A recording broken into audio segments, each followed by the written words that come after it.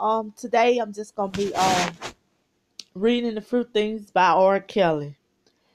For more than 20 years, best-selling R&B artist R. Kelly has been dodging accusations of sexual misconduct, ranging for child pornography, pornography, I'm sorry, to underage sex.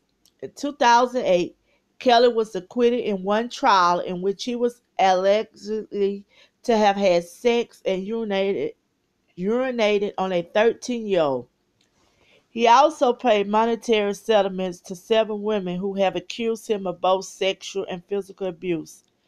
Today, everything could change for the R&B singer after a Cook County, Illinois judge approved a arrest warrant for Kelly, who now been charged with 10 counts of felony aggravated criminal sex abuse.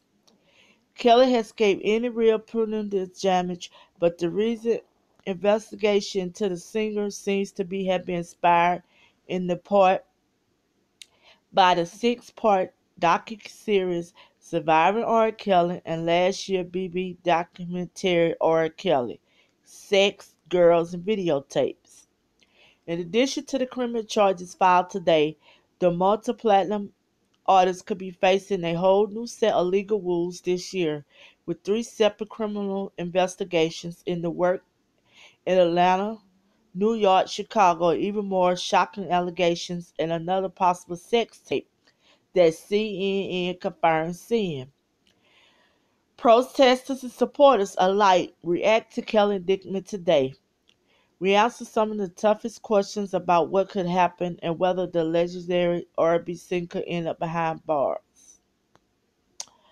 Well, what I gotta say about that?